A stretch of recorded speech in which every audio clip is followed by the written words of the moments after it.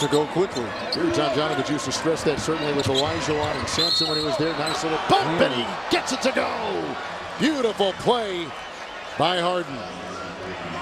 Fun player to watch. You know, there's a reason why GM said that James Harden, who has supplanted Kobe Bryant as the top shooting guard in the league, first time after 12 years, the ability for the game. And they come the other way, looking one way and going the other. What a pass by Harden. That's and nice. Sweet. And play maybe even freer. And with Howard, he, I feel, can do some of that. Well, the reason why he can do that is because he oh. has finishers like this he on the does. break and Chandler Parsons. So isn't anything defensively. How about Howard going out to guard Kirk on the perimeter? Yeah. Shot clock at three. The dancing Harden. The defense by Belinelli. Oh, what a shot. Harden okay. is feeling it. Yeah, but look what he has to do at the other end.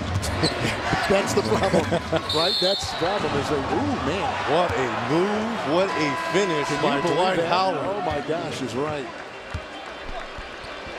Harden has put in 11 in this quarter, and Howard has put in 10. James Howard looking for a a dance partner, and he has found one in Marco Belinelli with this step back shot. And the finish here by Dwight Howard, 14 points to go along with four.